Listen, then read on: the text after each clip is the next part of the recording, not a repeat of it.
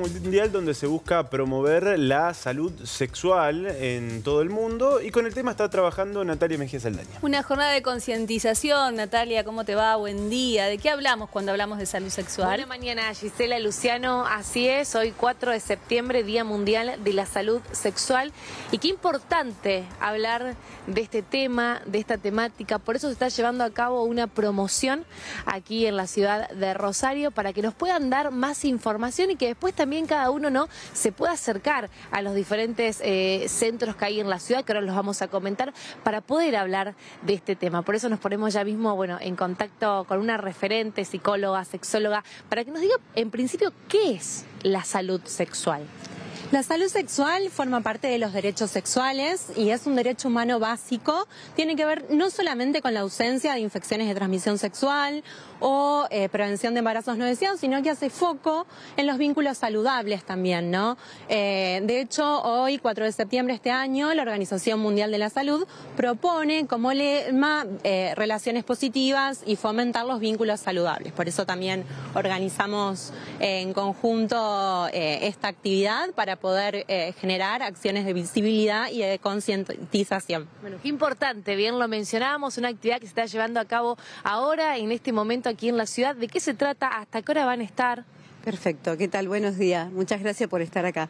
Eh, bueno, mi nombre es María Angélica, yo trabajo en la Secretaría de Género y Derechos Humanos y nos parece sumamente importante poder promocionar el tema de la salud sexual y sobre todo para las mujeres. hablamos siempre de promoción y prevención y la importancia de poder trabajar como eh, municipalidad de Rosario y con organismos, digamos, no gubernamentales, como en este caso de Filópolis, eh, y ocupar los espacios de la calle y poder hablar del tema sin ningún tipo de tapujos.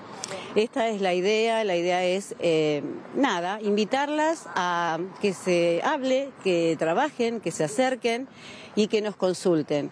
Cualquier tipo de dudas, digamos, estamos a disposición, tanto la Municipalidad eh, de Rosario como la Secretaría de Género y los organismos no gubernamentales que trabajan con la prevención de la salud de la mujer, como dije antes, en este caso Filópolis, con los cuales estamos trabajando permanentemente. Bien, hoy van a estar entonces hasta las 12 del mediodía aquí en calle Boulevard Oronio al 200, pero el que no se puede acercar en el día de hoy, bueno, decíamos, hay diferentes lugares donde uno se puede acercar, sigue estando, por decir decir, ¿no? Esta palabra que, muchas veces la han usado mujeres, eh, la, vergüenza, ¿no? De hablar de este tipo de temas. Sí, de esto, de animarnos a llegarnos a todos los efectores. Yo soy Gabriela Roja, jefa del Centro de Salud Martín, de poder acercarnos, que es de la municipalidad, a cualquier efector de salud en los 50 centros de salud de la municipalidad de Rosario, que se animen, que se hagan los controles de salud general, ¿eh? control de PAP, como habíamos hablado, anticonceptivo, controles del laboratorio, pero también hablar de nuestros derechos y hablar de, la salud sexual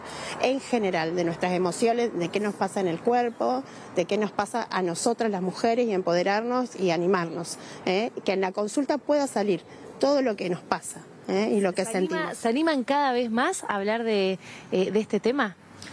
Hola, ¿qué tal? Buenos días. Sí, yo creo que sí. Eh, creo que el año 2018 con el tema de aborto ha abierto un, un, panorama bastante amplio con respecto a los derechos sexuales y reproductivos y creo que si bien hay un contexto de mucha hostilidad en general con lo que tiene que ver con políticas públicas en favor de acceso a derechos, eh, se sigue sosteniendo desde los territorios, desde los espacios públicos, este tema de la prevención que es elemental, porque habiendo prevención no llegamos a otras instancias que pueden ser más graves. Algo tan natural también, ¿no? Poder eh, charlarlo, informarse, bueno, prevenir cualquier tipo de enfermedad. Sí, más que nada es un acceso a la información. Más, más, allá también de que es un derecho a la salud concreto, real, es importante que la población pueda volver a, a, los centros de salud a hacer las consultas, porque las consultas al tiempo evitan problemas mucho más graves. Esa es la importancia también de la actividad. Muchas gracias. No, por favor.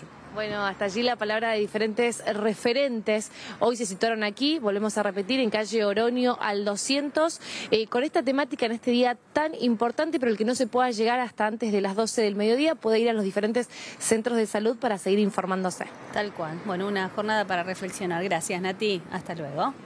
Bien,